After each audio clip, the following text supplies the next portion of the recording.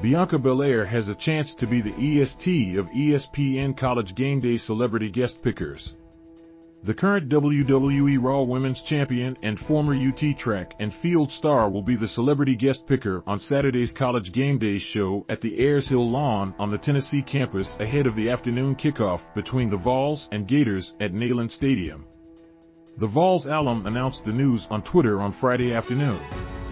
Belair, whose legal name is Bianca Blair Crawford, attended the University of Tennessee from 2011 to 2013 and was a sprinter and hurdler on the track and field team.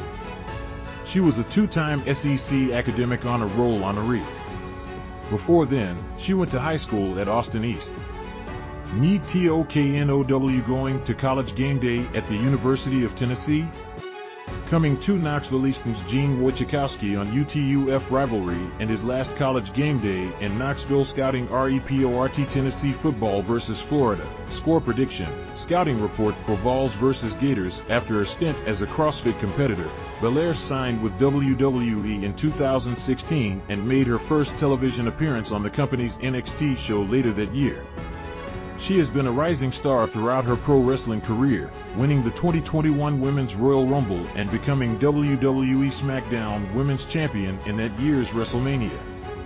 The EST of WWE is currently the Raw Women's Championship title holder and has held the title for more than five months.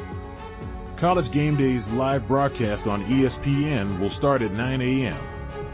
ET Saturday, and the pick segment usually starts after 11.30 a.m.